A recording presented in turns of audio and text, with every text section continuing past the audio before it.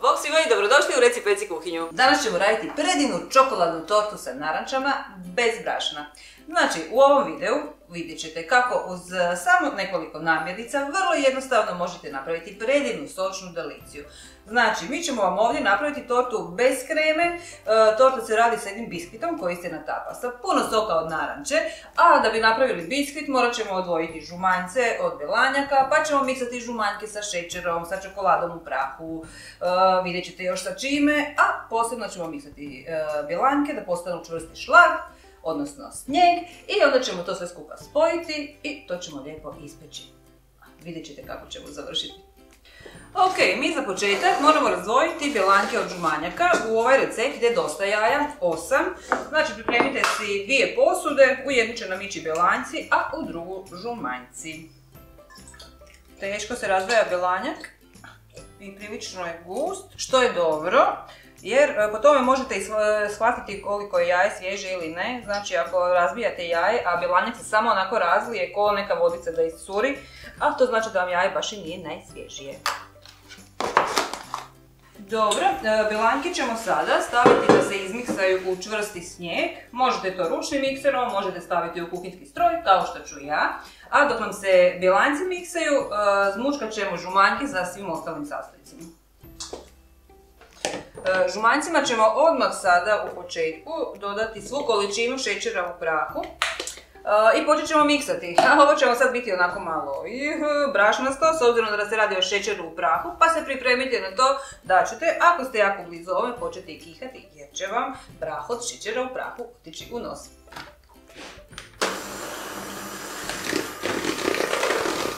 Tako, znači kada nam ta masa postane ovako lagano svjetlo žuta, E, dodat ćemo malo mlijeka, znači za cijeli recept nam treba otprilike 3-4 žlice mlijeka, čisto da bismo lakše razmutili. I dodat ćemo polovicu čokolade u prahu, pa opet promiksati. Dodamo ostatak mlijeka, dodamo ostatak čokolade u prahu. Tako, kada smo to sve skupa spojili, prilično brzo vam je ovo sve skupa gotovo, e, moramo još umiješati i orašaste plodove. E, kažem orašaste plodove e, zato što možete koristiti šta god želite. Znači ovdje vam mogu ići i mljeveni bademi ili mljeveni orasi, mljeveni lješnjaci, znači bilo što orašasto imate pri ruci, bit će ok. E, dodam na kraju, zato što je smjesa sada već prilično gusta, pa bi se teško ovo sa mikserom izmiksalo. E, pa znači sa jednom špatulom, kuhačom ili s čim god, sve lijepo ovako sjediniti. I sada nam je na redu i ovaj ulupani snijeg od bjelanjaka. Njega znači na kraju ručno dodajemo u ovu masu koja je onako prilično gusta. Ali bez brige, ovi belanjci e, će fino onako omekšati, da postane dovoljno rahlo i da ima nekakvu formu biskvitnog tijesta. Znači opet ručno, e, malo po malo dodavati ovaj snijeg od belanjaka i lagano umiješati da se sve skupa spoji. Evo, lijepo se ovo sve skupa spojilo i sada još neposredno prije pečenja, a mogli ste i malo ranije, nema veze, e, naribat ćemo e, malo korice naranče, čisto onako da dobijemo tu jednu finu aromu, može naravno i bez toga. Budite samo sigurni da kada koristite ribanu koricu naranče, da te naranče budu potpuno čiste, znači poželjno bi bilo da su iz nekog ekološkog uzgoja ili, ili barem iz nekog uzgoja gdje znate od kud dolaze, znači da nisu premazane svim svačim. A ako imate najobičnije naranče iz e, trgovine, onda se možete riješiti svih tih nečistoća i sumnjivih stvarčica na njima, tako što ih e, potopite na jedno pola sata u vodu u koju ste dodali malo sode bikarbone. I naravno dobro ih još i dodatno izlipajte. E, dok ovo radite, zaboravila sam vam reći prije, upalite pečnicu da vam se grije, e, puno će brže ići cijeli postupak. Pečnica vam se mora zagrijati na 180 stupnjeva. Ako imate malo slabiju pečnicu, onda je slobodno zagrite na 200 pa pecite na 200. Znači, nećete pogrešiti ni sa jednim ni sa drugim. Ako se peče na 180 stupnjeva, peći će se pola sata. Ako se peče na 200 stupnjeva, a peći će se nekakvih 20 do 25 minuta. Je to. Za ovu tortu moramo pripremiti kalup za torte. E, idealno je da se peče u kalupu koji je 24 cm promjera. E, ako imate manji kalup, e, ništa zato ispecite u njemu, samo što će vam torta biti onda malo viša. A ako imate veći kalup, onda će torta biti malo niža.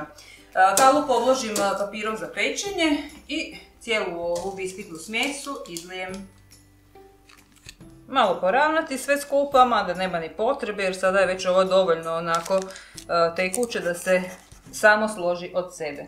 to je to. To se nam sada ide na pečenje. Kako sam vam rekla, ja pečem na 180 stupnjeva 30 uh, minuta. Uh, moramo još samo ocijediti ove dvije naranče koje nam trebaju za recept. Znači, prerezati. Ova jedna je ovako oštećena, zato što smo s nje naribali koricu u biskvit. Znači idemo iscijediti naranče. Da vidimo. O, fino je ovog soka ispalo. Znači ovaj put sam dobre naranče potrefila. Znači, pa, skoro cijela uh, 2 decilitra soka. Taman. Mislim da nam se to da ispekla. Evo ga.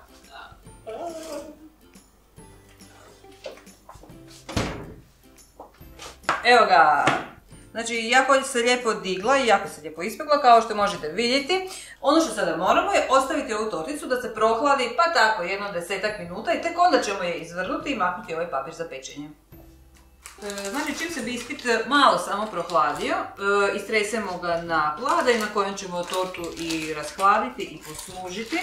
To može biti ili neki veći tanjur, može biti i baš onako nekakav ukrasni stavak za torte, apsolutno je sve jedno i pažljivo odvojiti ovaj papir za pečenje. E, ovu tortu moguće je napraviti i na malo drugačiji način, znači bez papira za pečenje, znači prije pečenja namastite kalup, znači namažete ga dolje sa e, nekakvom masnoćom, posipate sa brašnom, pa onda izlijete biskvit i ispečete. I u tom slučaju ne morate u stvari tortu ovako istresati i vaditi iz kalupa, nego je u kalupu ohladite i završite. Ali evo može i na ovaj način. E, kalup nam još samo malo treba, znači opet ga uzmem i stavimo ga ovako preko torte, znači samo ovaj njegov obruč. I sada dok je torta još uvijek topla, zalijemo je sa ovim isciđenim sokom od naranče, znači preko cijele površine. Ovako. E, biskit za ovu tortu e, prilično je neobičan, znači ovo je biskit bez brašna. I upravo zbog toga što je bez brašna, a ima dosta čokolade u prahu, i ima dosta orašastih plodova. E, on je onako e, prilično rahli, a netom nakon pečenja je i e, prilično onako mekan. Upravo to čini ovu tortu posebnom i prilično, prilično stočnom, a pogotovo će biti stočna sada kada se upije sav ovaj sok od naranče. Tortu sada ostavimo opet na sobnoj temperaturi, da odstoji jedno 15 minuta, da se do kraja ohladi, a nakon toga još izmiksamo slatko vrhnje i stavimo ga gore. I sada kada se torta lijepo rashladila, nije baš ono skroz skroz hladna ili nisi držala u hladnjaku, nego na sobnoj temperaturi, ali taman je vrijeme da stavimo slatko vrhnje, znači puno slatkog vrhnja, Uh, obično za ovu tortu koristim 500 ml slatkog vrhnja. E, sad ako baš nemate toliko, slobodno stavite manje. Ali svakako preporučam veću dozu slatkog vrhnja jer uh, urnebesno dobro paše uz ovo. Slatko vrhnje lijepo rasporedimo preko cijele površine torte. Ne mora ovo biti ništa ekstra uredno. Ovo je onako jedna čupava svakodnevna torta. A sad baš ako vi hoćete srediti tortu da bude onako cakom pakom, slobodno dajte si truda, pa lijepo poravnajte ovo slatko vrhnje. E, također možete tortu e, svuda okolo premazati slatkim vrhnjem, pa je prigodno ukrasiti ako je nekakva svečana prigoda, iako ovo je jedna, kako sam vam rekla, svakodnevna torta e, koja će vas apsolutno oduševiti svojim okusom. Vidjeli ste da je prilično jednostavna za napraviti, e, ne ide puno sastojaka, ne ide brašno unutra, čak ni prašak za pecivo. E, iako se radi o biskvitnoj torti, znači samo biskvit i slatko vrhnje, ona je jako, jako sočna. Tako.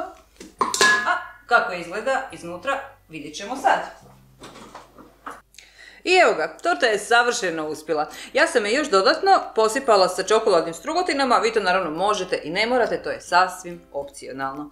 Znači, Za ovako nešto jednostavno, vidjeli ste sami da ne treba izdvojiti puno vremena, dobit ćete fantastičnu, sočnu deliciju. Morate probati ovu tortu napraviti što prije, jer tako dugo dok je ne probate napraviti i dok je ne kušate, e, nećete biti 100% uvjereni da je ovo toliko fino koliko ja pričam da je fino. A stvarno je. Savršeno sočno, bez brašna, natopljeno sa sokom od naranče, gore taj fini sloj slatkog vrhnja, fenomenalno. Uh, probajte napraviti, pišite mi u komentarima kako vam se svidjelo, nemojte se zaboraviti pretplatiti na Reci YouTube kanal ako to niste napravili do sada i naravno budite s nama neki sljedeći put. Bog svima!